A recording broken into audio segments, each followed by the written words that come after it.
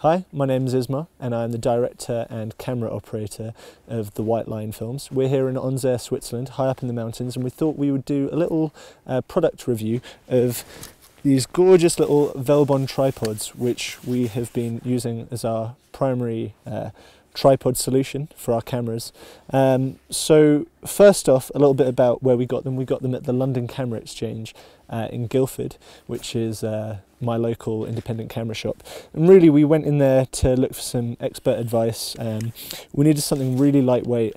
Um, something that we could carry around, set up quickly in the snow, because obviously these conditions aren't exactly perfect for shooting, for camera operation, kind of other grip equipment. So yeah, we needed something that was quick, light, and easy to carry around, uh, kind of on the sides of our bags or in our bags that kind of we could just forget about that wouldn't cause us any problems. Uh, these tripods retail at about 100, 110 pounds, something like that, and they're worth every penny. So first off, I'm going to show you uh, the usability of the legs and how quick they are to set up, uh, which is obviously pivotal for us um, getting a getting a shot in the snow. We need to set up fast uh, to, to nail the riding. So all it takes is four clockwise clicks of the bottom leg to fully extend it, and then anti-clockwise turning to lock the legs. Within that, you can adjust the height and really kind of temper the tripod to your needs. So there we go. That is a fully extended tripod. Uh, really nice height for us. Uh, once the camera and the head is mounted onto the tripod, it's about eye level, so great.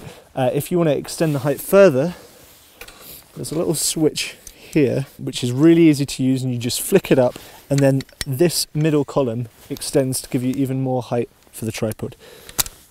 Simple as that. Push that up, and that gives you another 10 inches or so, which is great. So that's the height, uh, all done and dusted, which is obviously great.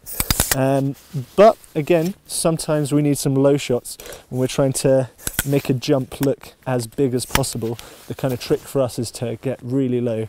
Um, and with the video tripods that we're usually used to uh, to shooting with. It's kind of hard to get that angle, um, but with this, it's really, really nice and simple.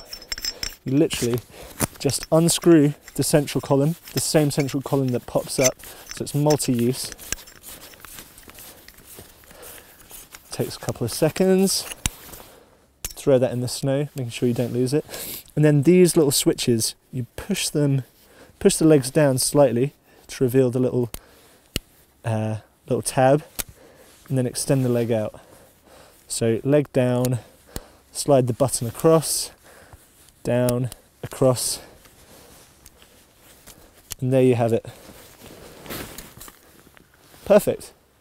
So obviously these tripods um, seem to be designed primarily for photo use. Um, you can tell that obviously they're, they're not designed for heavy duty cameras uh, that we are using.